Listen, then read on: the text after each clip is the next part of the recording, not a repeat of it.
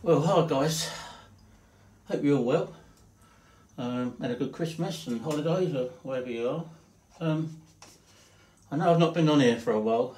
Um, lots of other things. Uh, restoring old motorbikes. I've got a CB, 1969 CB 450. I've actually uh, restored. I should do a little video on that. Um, and I've actually given up my flying, my RC flying helicopters. Uh, so I've got rid of all those. I've got quite an empty garage apart from the two bikes. So it doesn't give me a lot of room to do my videos, which uh, why I haven't actually been doing much. Um, on the RC side of it, um, I kind of been doing a bit now and again, but um, I've gone into sort of running these big petrol boats, which I should do a video on, uh, Tiger King engines and that kind of thing. Um, but I thought I'd do an update on my Toyan. Uh, I've actually going really, really well now. Um, I'm so pleased with it. Um, and I put a tiny little video on YouTube on my channel yesterday. Only, a, I think it's about three and a half minutes of this car running over a very desolate car park. But I've actually run probably about 10 tanks for it uh, it only does like three and a half minutes on a tank, but I've run one after the other, just tuning and tuning, uh, and I've made some really good headway. Um, as you can see, uh, I changed from the Swamp Dog body, uh, and I bought myself a Mojave. Now I did have an electric Mojave, I think I used to run it on 6 and 8S, which was a wonderful thing, but it wore tyres out so quickly and you know, and they're like almost a hundred pound for a set of tyres. So um, I sort of sold that, give that up. Um, but when I did have it, I just did try the body to see if it would fit on there, and it looked kind of like it would go on with a bit of modification. So anyway, as the weeks have passed, gone by, and I've been messing about with bikes and things, um, I gradually thought to myself, let's have a look at the uh, Mojave again, dig it out. So I've been kind of looking around it over the last month or so, uh, and I thought myself, well, I probably could get a body to fit on it. Now, what I've had to do on on this truck, I mean, you can remember I used to have quite a, a slim kind of body on it, but I don't know if you can see. Let's move this the way. I've had to cut the whole bonnet out because the engine is kind of just sticking up too much to kind of leave it on, but you know, it helps to run it cool anyway, but that that wasn't the problem. I mean, I, have even managed to get the driver figures in there. I don't know if, if you can see them. Um, yeah, so anyway, let's put the body away.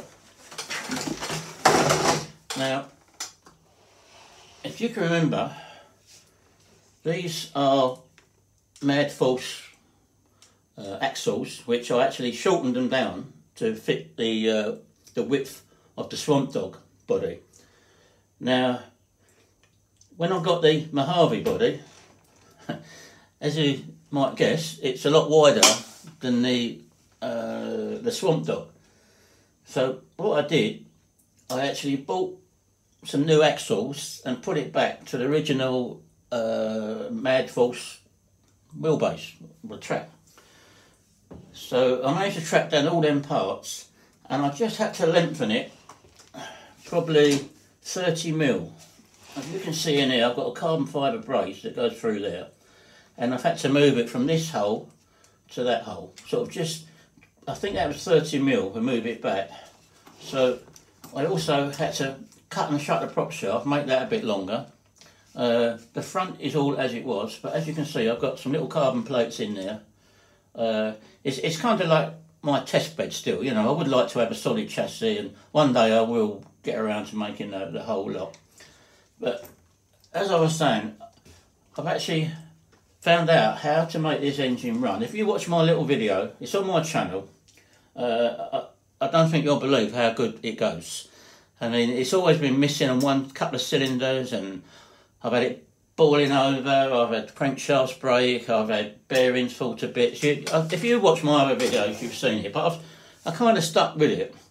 Um, one of the biggest improvements I've found on this truck is to use these big bore. Since I've been doing RC boats, I've realised you can buy these really, really big. I think they're eight millimetre. Uh, they're, they're actually water cooling pipes that I use on my boat. You see the size of those? So you've got really good. I mean, I was using like a little fuel line, little fuel pipe on there, you know. And when you think about it, when you think of a real car, you know, a real car has like kind of really big hoses. It don't have like little fuel lines. So I thought, so well, let's have a go at that, doing that. So I went through the whole thing. Uh, I've had to move the radiator slightly forward. It's gone forward about 10 mil uh, because I kept having trouble with it catching on the fan. So that's another little mod I've had to do, move it forward.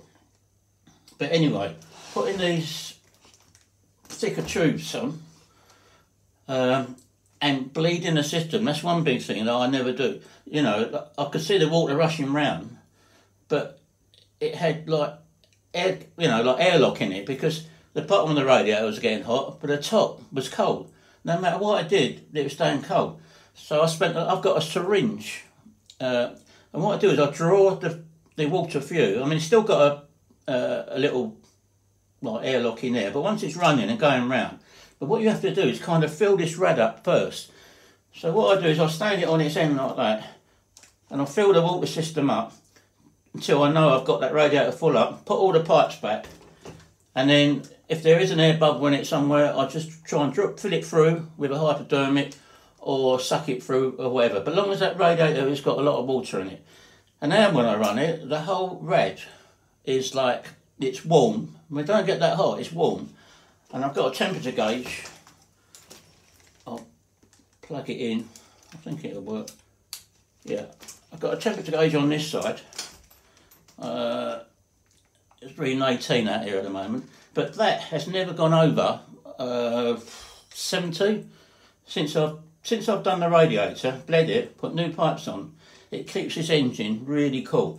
And I think that is one of the main features that helps you tune this engine. The other thing I'm going to talk about is the carbs. Now, I, you know, had this almost running good and then not running good and all that kind of thing. Well, they are very minute adjustments on here. Now I kind of set them all to the same. So it's like two turns out or whatever I set it at to get it running the best. But there's always one cylinder that's kind of bit fluffy, whatever when it's on the, the top, you know, top speed. So what I've done is I put them all to the same setting and I just altered one carb, you know, it's a tiny little bit. And it either makes it worse or it makes it better. And I went along to each carb doing that till I got this engine singing on all four cylinders. Um, the other thing, I'll actually pressurise the system now because I'm using this little tank and I pressurised it from, this is a Mosquito helicopter uh, exhaust, and I've pressurised the tank because I noticed as the tank went down, it started to run sick. You couldn't get a consistent run through a whole tank. So I put this on as well, and I had to what, lean it out almost sort of three quarters of a turn. And as I did, I could hear the engine coming on song, coming on song, up and down the road, my street. It got better and better and better until I could. It was starting to wheel spin when it pulled away. So I thought, right, things are going well.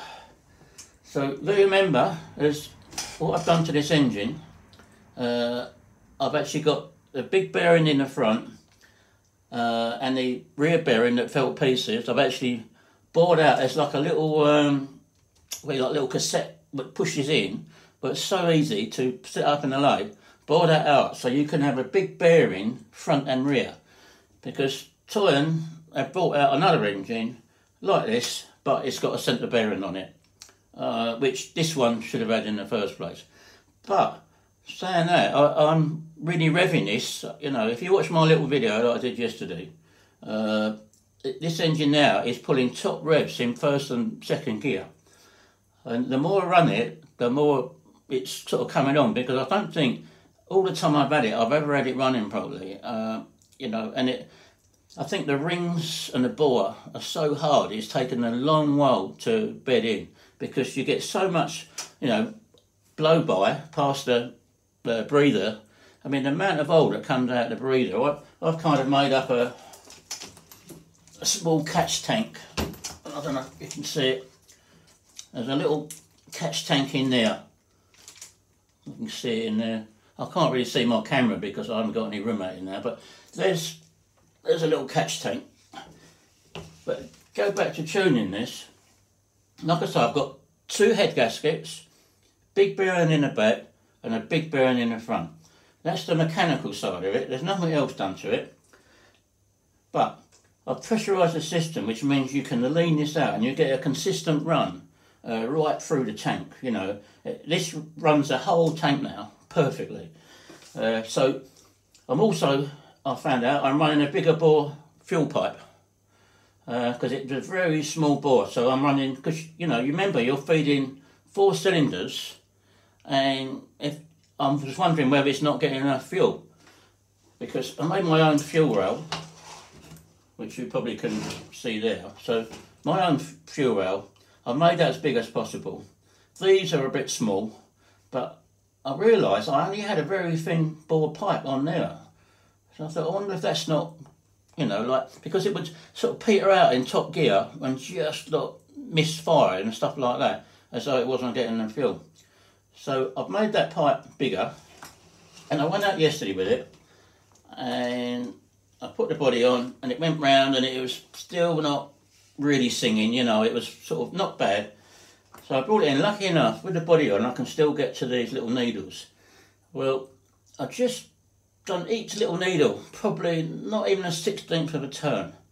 Uh, and when the thing pulled away, it kind of like spun all four wheels. I've never had power like that before. So I ran it around for like three and a half minutes for a tank and it was getting better and better because the gear change was changing earlier. If you watch the video, you can hear it sort of going blurb, blurb in the second, quite slow. But towards the end of the video, it's changing really quick where the revs are, are a lot more than it was when I first started. It's a this engine as well. You have to kind of warm it up a little bit. So when you first start it, if you try and whack it away, you know, off the line, it will keep stopping. If you just purr it around for, you know, 30 seconds or so, gradually build up the heat in the engine, and then you can let it rip. Uh, it, you know, and it looks so good with a body on because I've never actually been able to run it with a body on. Anyway, I run, I probably run five tanks through it, and every one it got better and better. Um, you could hear the tyres sort of squealing a little bit. You have to be very careful with this because it kind of wants to roll over. Um, it's quite a heavy thing and it's quite high up. I did have an anti-roll bar on the back, but when I widened the axles and put the, the other axles on, um, I couldn't get it to fit, but I've got to work on that because it definitely needs an anti-roll bar on it. Uh, it keeps wanting to lift a, a wheel. Um, so, this engine, I mean, I've had a few comments about it that people have never seen one run like that, you know, without braking or running that fast because it's quite, you know, it's quite high geared really. Um, and I don't know what it's doing top speed, but it's it's not hanging about.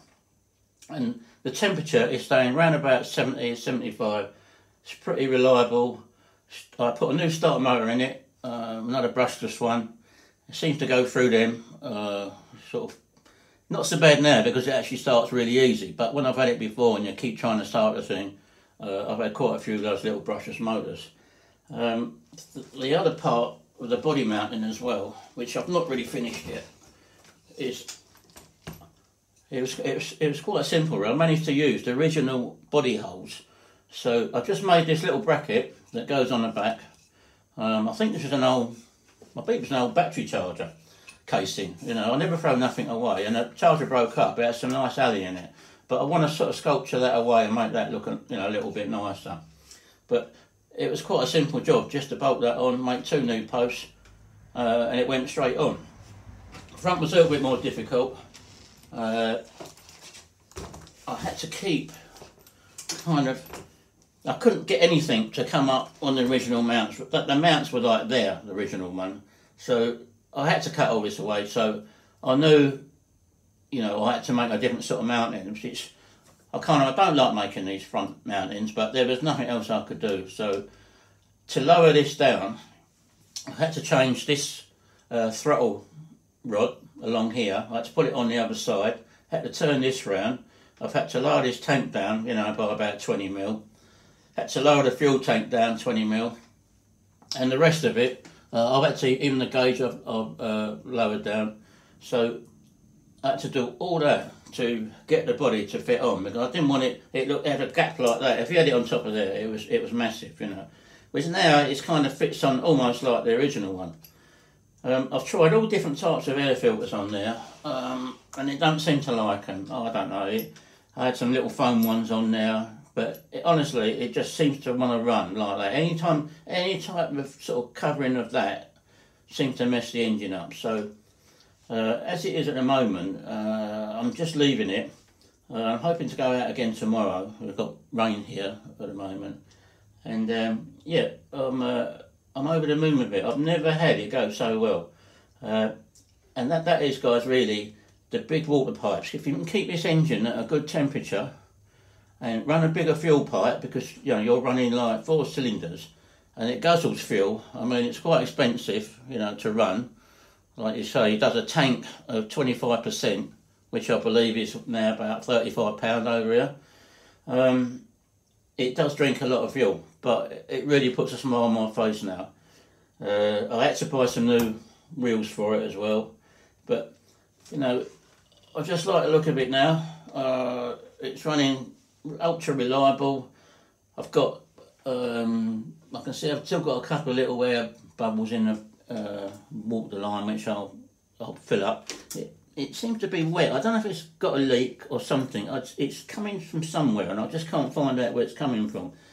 But um, it's not fuel. It's actually this that. This is kind of like fifty percent antifreeze. It's like half and half and water. Um, but it seems to want to. I wonder if it's one of the hose fittings because I've had to kind of. These are such big holes, and these are quite small. They're only like three mil uh, nipples that come out of there. So I put like another bit of hose on it and then push the whole lot over it, and run these spring clips on it. But I can't actually see. There's a little bit of water on the bottom. I don't know if it might be one of these connections on the bottom, but it's not not too sad. Uh, so anyway, I'm going to wrap this one up now. Uh, I've actually bought myself one of those new Losi Promo uh, motorbikes, the off-road motorbikes, and I took that out the other day, and that is absolutely wonderful. You know, I like my bikes. I've, I've got lots of old, you know, old road bikes like the ARX and all that, and um, I'll do a little chat on the uh, on the Losi bike and how I come to, you know, get it. It was um, it was a strange thing, but I've sold my uh, YZ, my old Kosho YZ 250, which I rebuilt and I actually got running, uh, 1977 or 78, I believe. Um, I've actually sold that to a guy in China who runs the upgrade parts. Um, it was uh, Biton or Bibiton or something like that. I can't quite sort of pronounce the name, but this guy does all the upgrades for fifth scale cars, you know, apes, and now he's doing proper spoke wheels and stuff like that for the uh, Promo bike. So I've ordered, I actually sold him my bike. Uh, I got a good price for it, and he just wants to stand it in his office. You know, he don't actually want to use it.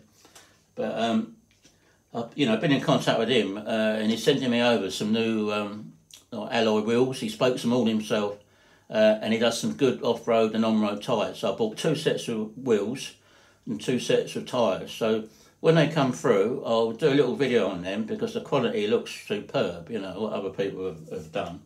So anyway, guys, I'm going to wrap this one up now and uh, Happy New Year and all that kind of stuff and uh, I'll see you in the next one.